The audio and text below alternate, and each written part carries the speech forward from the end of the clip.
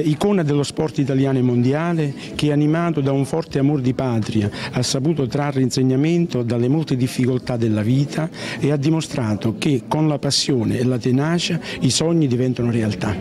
Una eh, persona splendida. Questa è la motivazione che ha spinto la SDOE, di cui Antonio Riccardi è presidente, a consegnare il premio dell'associazione per l'edizione 2013 all'ex pugile Nino Benvenuti.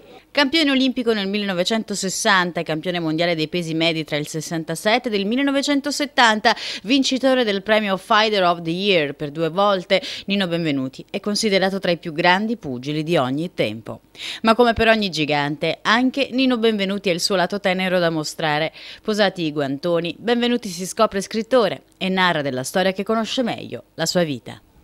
Nell'isola che non c'è c'è una storia che mi riguarda personalmente, che l'ho vissuta in epoca, in età che allora tutto poteva accadere, tutto poteva succedere e che era um, più sofferente dopo che nel tempo stesso, perché da giovane riesci a superare le difficoltà con molta più eh, fantasia, con molta più leggerezza.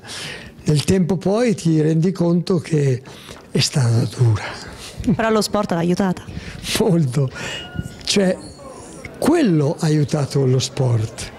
Lo sport eh, è venuto di conseguenza, perché quando mi sono apprestato a fare una disciplina così difficile, così dura, così pesante, tutto era molto più semplice, più facile per me che per altri, che avevo superato momenti molto più difficili di loro e che tutto quello che accadeva era olio sull'acqua.